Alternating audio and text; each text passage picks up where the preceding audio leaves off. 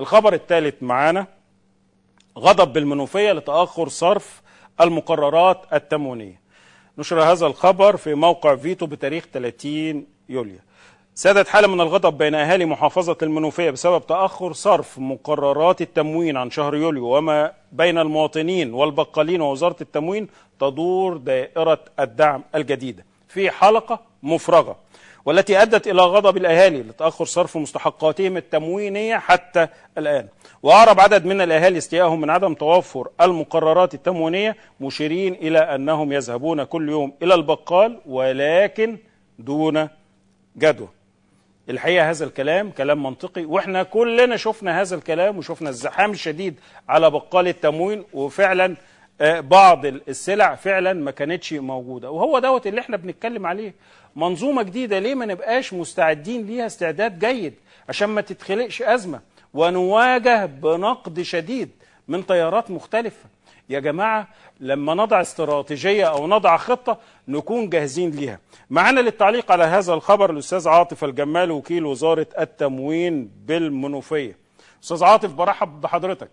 يا فندم مرحبا بك يا آه إيه رأي حضرتك عن أزمة صرف المقررات التموينية بالمحافظة المنوفية؟ هل ما زالت الأزمة موجودة؟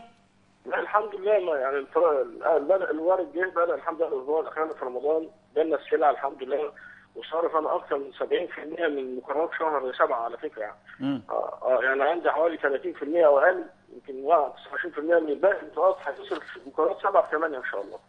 إنما عندي بدا السلع تيجي الحمد لله وبدا الفراغ تيجي وشركه جوه بدأت تصرف وبدانا بالفعل بنعدل المكن بتاع التجار. التموينين عشان ندمج شهر سبعة كمان اللي ما صرفش شهر سبعة. كل السلع يا أستاذ عاطف؟ لا. أمال كل السلع بقول لحضرتك كل السلع فعلا وصلت؟ لا مش كل السلع. يعني التركيز كله على السلع الاستراتيجية اللي هي المواطن المنوفي اللي الرغيفه وفيها اللي هي السكر والزيت والرز والمكرونة.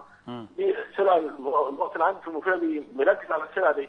لكن في بلح في سمنة في في آه، فول في عدس ده موجود يعني يعني نقدر نقول تم حل الأزمة بنسبة كام في المية؟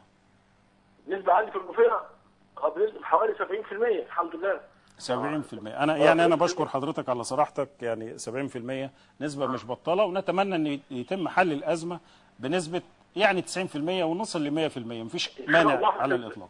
في بداية شهر 8 لسه بادئين وهنوصل بإذن الله. إن شاء الله هنعدي 90% بإذن الله يعني إن شاء الله. إن شاء الله. نشكر حضرتك الأستاذ عاطف الجمال وكيل وزارة التموين بمحافظة المنوفية.